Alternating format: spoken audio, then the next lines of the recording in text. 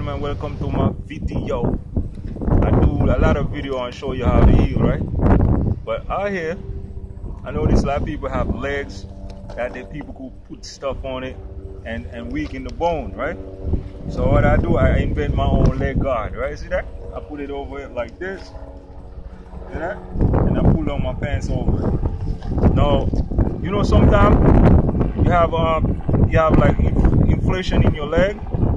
Now, method I use for that, because I know people trying to cripple me, I came up with a, a little little method, which I learned from the island. There was there used to be this lady named Miss Enid.